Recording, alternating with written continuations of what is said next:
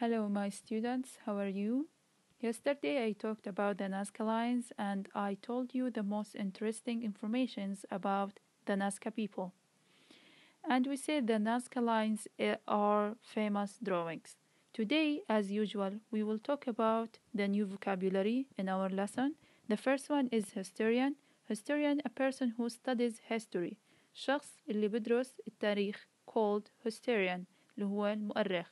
Two, clear away clear away to move something to a different place إنك تزيح شغلة لمكان called clear away 3 climate climate اللي هي ال weather المناخ أو الطقس 4 incredible incredible means something amazing رائع 5 sketch sketch اللي هي simple drawing of something sketch اللي هي رسمة صغيرة لإشي called sketch 6 figure Figure اللي هي shape of person ش شكل شخص called figure 7 soil soil اللي هي ال earth that plants or trees can grow in ال التراب أو الأتربة اللي بنقدر نزرع فيها called soil 8 underneath underneath means below something يعني تحت إيه على الأرض يعني تحت شغلة نحكيها underneath So please open your student book, page 80, exercise 3.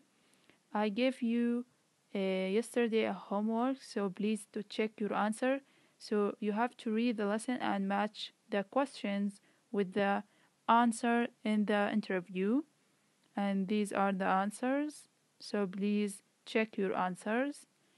And I gave you this also as a homework. So please you have to check your answers.